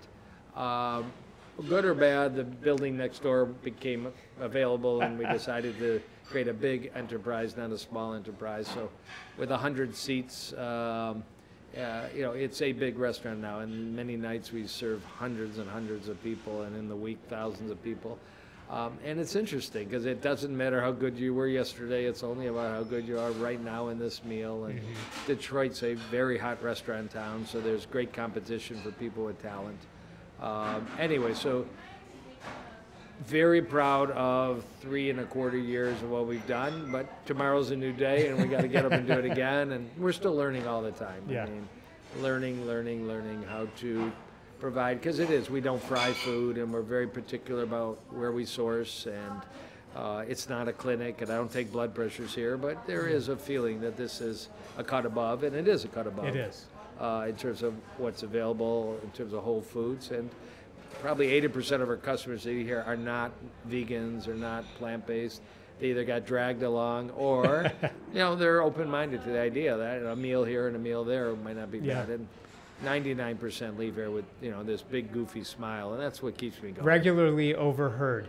Wow, that's actually really good. Right, right. you know, and my main role here uh, is just schmoozer on the floor, and Yeah. I'm looking for problems. But you know, thank you, thank you. I mean, it's a very positive experience to walk around on a busy Friday, Saturday, and talk to in, people. in in where we're at, and I grew up in the area, so this was called Maria's Front Room, Right. and it was an Italian restaurant that had been here forever, and it, it had aged. Let's just put Right, it that way. right. And I heard that you were opening, and I was so excited, thank uh, and I heard it was going to be kind of a nicer and higher end Right. type uh, restaurant. And you got started on it, and then this other space next door opened, and you reset. If I, if I have the story right, You got it right. And then you went all in Yeah, we on this place. I mean, yeah. if you're in Detroit or you live in Detroit and you haven't been to GreenSpace Cafe, you, you've you. got to come here. Yeah. It is gorgeous. The service is amazing, and the food is the best. It's thank you so very much. good. Thank you. Yeah. So, what was this project like? I mean, you come from the medical world. All of a sudden, you're not just delivering on these this wonderful experience, but you have to like rehab these spaces, which Yeah. were a mess. Yeah, these spaces were a mess, and um, you know the place looks cool now because we just ripped off decades of stuff and found out there were very cool floors and walls and just left things as they were. Um, it was. It's to this day. I'm not going to tell anybody. If you've heard the restaurant business is tough, and and I got to say, uh, small is probably better. Um, you know, although it's joyful for the public to have this big, beautiful place and Yeah. the 25 seat bar that's gorgeous uh, and such. But um, when you talk to experienced restaurateurs, who have been doing it for decades, you know, you hear over and over small, small, small, fast casual. And we do have one fast casual restaurant up the street Yeah. that uh, has a little different vibe and feel, but also very healthy. So any future projects we do will be small, fast casual restaurants. Um, you know, there's a need. Um, God knows there's a need, you know, and the biggest, hottest chain in the plant world is out of Los Angeles, Veggie Grill, and you know, it took them 20 years to perfect and and open five, six, seven in LA, and now they've got funding and they're blasting off through the East Coast and Chicago and and such. Um, and many healthy options. Not everything uh, would be something we'd throw on the menu right away. Um, you know, but even them, their price point doesn't match Burger King and McDonald's. You've got a customer that's made a decision. I'm looking, and I'll pay for a little better, and we uh, deal with that too. I mean, we people want a six dollar meal. Well, we can give you a six dollar burger, but we can't give you a six dollar Yeah. meal because we're sourcing from farms and we're sourcing from many organic producers and such. So. Um, I'm still looking, you know, I'm very optimistic the way the food and the restaurant industry is going. It, it's so easy now to walk into a restaurant and have at least a few options available. Boy, has it It changed. used to be tough, sure has. Yeah. Yeah. Amazing. Yeah. Uh, and you mentioned the airports, and I, I mean, like you said before, San Fran, L.A., New York. Those were the only places Pretty that get a halfway decent vegan meal or plant-based meal. Miami, Now it- Miami. God, Miami, Dallas, Yeah. Chicago. You know, some have opened and closed in Chicago, Yeah. but uh, Portland, oh my God, Portland and Mecca, you know, it's all over. I have to say, I'm surprised at Detroit. I Yeah. mean, we have a good number of plant-based uh, We do. uh, restaurants here in the area as well, and, and I've always been impressed that they can stay around. It tells you we really have the market for it here. I agree. So you mentioned, um, can I don't know if I would call it fast casual, but it's GreenSpace and Go, Right. and that's a great place as well. And like you Yeah. said, it's it's got a different vibe, but um, still very healthy options. And uh, where do you see that going? Yeah, uh, you know, if there's future opening, we had a franchise company in this week, uh, very enamored with that concept, Mm-hmm. very uh, reproducible. So, know, we rushed into this. We actually also have a food truck in Austin, Texas Yep. called ATX Food Co. on Barton Springs Road. I mean, really, right now, those three enterprises. Keeping you Uh, busy? I'm still married. I still have a son I talk to, and I, I'm not rushing to. and you uh, have your yeah. longevity centers Yeah, and patience, patients and, and- and by the way, like five books. Yeah, You just books. wrote a great book, The Yeah, Plant-Based, Plant-Based Solution, Solution, yeah, so- and I loved I love that book. I highly recommend it. Thank you. The uh, the um, uh, Vegan Sex was your first book. No, it's actually it's number four. Oh, that was That's number four? four. First book was Oh my called God. Whole Heart Solution. Oh, that was the. F- oh, I became okay. a PBS special for the That's country. right, So that yeah. was fun. Reader's Digest published it and supported me in their magazine, and that's where I got the title, America's Healthy Heart Doc. Reader's Yeah. Digest was very generous with that. And then I wrote a little book nobody remembers, but I wrote a book called Dead Execs Don't Get Bonuses, Bonuses, yeah. which was self-published, but now it's published by a publisher. And everything we talked about for 25 minutes about executive health at a high Yeah. level is in a book that's written very simply, hour and a half read. Dead execs don't get bonuses Mm-hmm. on all the major, you know, internet sellers. Um, it's not on Audible, but it's on Kindle. It's well worth gifting somebody that I- for twelve dollars and ninety Yes, and and you know we have mindful leaders listening, and I have so many mentors that I love so much, and would you know I look at them and I know their state of health, and they know their Yeah, state of health, right. and it's just so hard for them to change. But their impact is so widespread, and uh, the longer they're around, the better we all are for Yeah. it. So. you know, there's a statement I live by, and I love saying to the public, but it's when you have health, you have a thousand dreams. When you have poor health, you have only one dream, and it's true. It's you know, I've I, I mean, I've had the privilege to talk to thousands of people in a very intimate way about Yeah. every aspect of their life and relations and you know, performance and all, and. I mean, we have the opportunity to have this incredible life, and we're at the best time ever to really, really. You, you, you and I could be 120 playing tennis. Yeah. I mean, I truly believe that. I'm a few years older than you, um, and it's it, it's really on the verge. Um, I don't know if it's going to be resveratrol or metformin or um, rapamycin or some gene technology. Yeah. It's lifestyle right now, Yeah. and it's weight control and plant diets and sleep and and Oura rings and you know little biohacking it doesn't hurt. But um, for those that have not enjoyed that, I mean, it's really a challenge. When you were starting the restaurant and even with your clinics, what kind of culture did you envision for your employees? Well, I grew up in a family business, and this is a family business. My clinic is, fortunately, it's small and wonderful staff, and we're very, very close and loving, and uh, they perform at such amazingly high level of customer service. I didn't even have to train it; they're just good people, and I hear on the phones. I'm here; it's a family business, and um, again, without it being too explicit, they know we're here for them. We know we care about them. They know that we are good, grounded people in a business that's very tough that we don't need to be in, but we're in it for, you know, some could say the right reason. And we've had wonderful, wonderful people that stay. Um, it's been over three years, so it's not like tremendous longevity, but we've had very little turnover. And, um, uh, you know, I don't think half our staff are fully plant based, but a lot of them have transformed their health while being here by their own choice. And, You know, they love eating here just like you do. It's Thank you. great food, yeah. I, I, I said beforehand I was going to be your best customer. I'm not sure I am, but I feel like I might be darn close.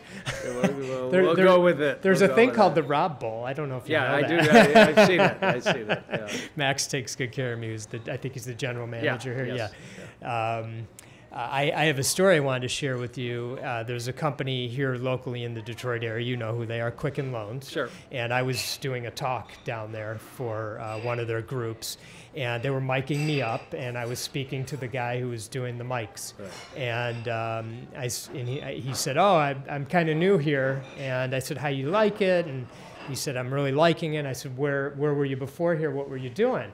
He said, "I used to be a, a line chef at the uh, GreenSpace Cafe in Ferndale." No. And I said, "Oh, okay, that's really cool." And I said, uh, "Hey, just out of curiosity, you know, what was the culture like there?" And he said, "I loved working there." Wow. And he said Dr. Kahn would come back and he would bring a smile to everybody's face every single time. Now, that's- and that I've just not heard my that heart. story. That just no. warmed my heart. That's very, very Yeah. kind of you. I mean, I have a lot of fun, and they're great people, and I don't mind a little street talk. And uh, I, I go in the kitchen and I hug them, and you know, God knows I don't prepare food, and I'm in the way a lot, but they know I'm around. hmm they do, and you know your your ability to live this lifestyle. Um, and I hear, you know, we talk at my company a lot about these. We call it the simple six, and these are the six things that we all know we need to do, but we have trouble doing. And you know, you've incorporated these into your lifestyle, and there's an energy that comes from people that do that, like yourself, Yep. and you just feel it when you're Yeah. around them. And so, uh, much gratitude for, Well, to thank you. for that and, and for Well, bringing this amazing place to Appreciate to our it. community here in Yeah. Detroit. Anybody listening that hasn't exactly done the simple six, I mean, pick one of them or Yeah. two of them or all of them. Right. Never too late. I mean, That's right. I mean, both science says that, my personal experience observing people. I mean, Mhm. you're three to four weeks away from feeling better than you ever have Yeah. if you, you know, identify the right diet, the right sleep, the right fitness, the right gratitude. Yeah. And there was one other thing I wanted to ask you about, which uh, was a personal experience that I had, and you you, you know the story, uh, but I want to share it with the listeners. And that was last year. My father had a second episode of. Um, he didn't have a heart attack, but he was having chest pains, and he was uh, taken to the hospital and and uh, sedated and confused. And I wasn't in the same city as him, and there were some decisions that needed to be made, and and uh, one was open heart surgery. The other was three stents, and um, the other, which wasn't presented to him, most possibly could have been, you know, maybe to seek out a reversal or something of that nature. Um, he was under a lot of stress and pressure to make that decision, and ultimately chose stents. And uh, after, thank goodness, uh, he he listened to his son, and came and saw you, and you've been taking good care of him. But what it brought up for me was the pressure that we're under when we're brought into that medical situation and how do you make good decisions you know especially as it relates to the number one killer heart disease It's really tough, and uh, thank God your father's doing well, and I Yes, appreciate is. you bringing me in. Um, but you don't hear, and again, I've been in it, and I'm not dumping on anybody. but Right. you could create the argument that every heart patient should be presented. I call it the three doors. Here's lifestyle, here's stents, here's bypass. It never, you know, there's only two doors that are presented. Um, but because docs haven't learned and haven't seen and haven't been taught and don't understand that there is a third door. Uh, and in the heat of the battle, um, I have people that come to me and are really, you know, self-motivated, and I have to look at their heart catheterization film and stress test them. Occasionally, the right option is to have a bypass or a valve or a stent. Um, I'm brave. I'm not always as brave as Dr. Esselstyn in the Cleveland Clinic. uh, you're taking a lot of responsibility when you're saying no to surgeons and stentors and Yeah. come cook with me, and you got to make sure the person's willing to go through with it. Um, but you know, it is a problem. Where do people go? How do they get information? I think that's where the advent of the internet has helped some. Yeah. Just the ability to read, and that's why I keep writing articles about heart attack prevention, reversal, blogs. People do find that. People find Dr. Esselstyn, Dr. Ornish, these classic stories of people, you know, a day away from bypass. Their phone introduced them to the third option, and uh, for Jeez. many, it has worked out very well. We have a Detroit hero named Paul Chatlin that, you know, he's probably about five and a half years of walking out of the Cleveland Clinic and never had heart surgery, and he can do yoga and play tennis uh, like the rest. So, but I by no means suggest irresponsible yeah abandonment of standard medicine. I, I don't know. I mean, I tell people if you've if you've if they've let you leave the hospital, get a second opinion. If you need to be in a coronary care unit for extreme illness and it's being presented stent or bypass, you're probably spot on. But if you're well enough to have the procedure, go home and be told you're coming back in two weeks for this or that, you're you're probably in a position you could manage it with medication and lifestyle and that situation uh, could prompt a, a rapid, you know, second opinion evaluation. yeah Just aren't a lot of preventive physicians in the country. There's more than ever, but there aren't a lot. Yeah, yeah. Well, thank you for taking great care of my father, and thank you for taking Yeah. great care of the the world. You're out there. Um, you can be found all over social media. You're very active, and we're going to have all the uh, ways to, Yeah. to find you in the show notes. And um, yeah, I just your passion oozes through, and your energy is unbelievable. You're going to be 60 this year. Yeah, Is that 60 right? in May, Taurus coming up. You know, I see further than others because I stand on the shoulder of giants is so true. I haven't invented anything. And I also live by the statement, you know, be open-minded, not so open-minded, your brains fall out. Some people do need medication bypass and stuff. But there's this wonderful world. 1955, I'll leave you this last story. Eisenhower has his massive heart attack as president. They call in Paul Dudley White, MD, the head of cardiology at Harvard, who had basically established the idea there was something called risk factors smoking, blood sugar, blood cholesterol, blood pressure. You can predict heart disease. It wasn't God's will or just aging, it was lifestyle. And that became fully established in the American art. And he announced at the bedside a heart attack after age 80 is God's will, a heart attack before age 80 is bad medicine. He said that in 1955. so I have that, you know, hanging. There's also a quote I have. Oh, you have that in my office by Bruce Springsteen. It's not your lungs this time; it's your heart that holds your faith, from uh, 1975.